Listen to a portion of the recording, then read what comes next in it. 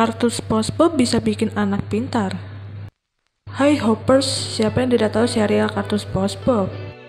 Kartun yang diproduksi Nickelodeon ini pun berhasil menghibur penonton, terutama anak-anak, lewat sejumlah momen komedinya.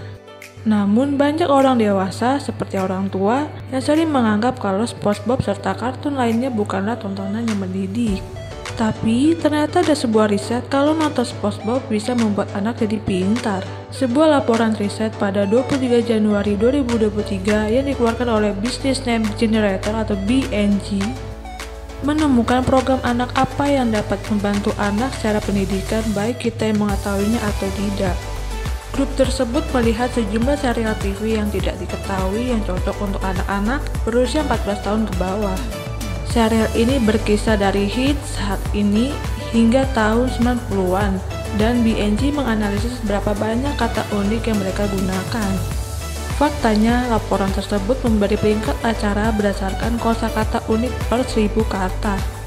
Dan SpongeBob SquarePants menang. Alasan mereka berangkat untuk mencari tahu acara TV anak-anak yang paling populer mana yang terbaik untuk membantu anak-anak memperkaya kosakata mereka dengan menganalisis jumlah kata yang bervariasi dan unik di setiap acara. Dari animasi modern hingga klasik tahun 90-an. Pertunjukan ini menawarkan banyak kosakata untuk dipelajari dan dinikmati oleh anak-anak. Oleh karena itu, animasi Nickelodeon memiliki 213 kata unik per 1000 sementara Stock in the Middle berada di urutan kedua dengan 212. Lalu Pangeran Naga dan Gutetama membawa pulang kemenangan untuk Netflix dengan membawa pulang tempat ketiga dan keempat. Sementara Seven Heaven, The Middle, dan Ain meneruskan daftar sebelum Pokemon mencatat tempat ke-8 dengan 158 kata unik.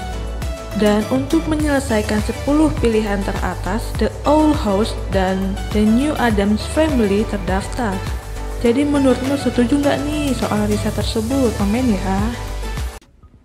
Baca berita selengkapnya di www.hops.id.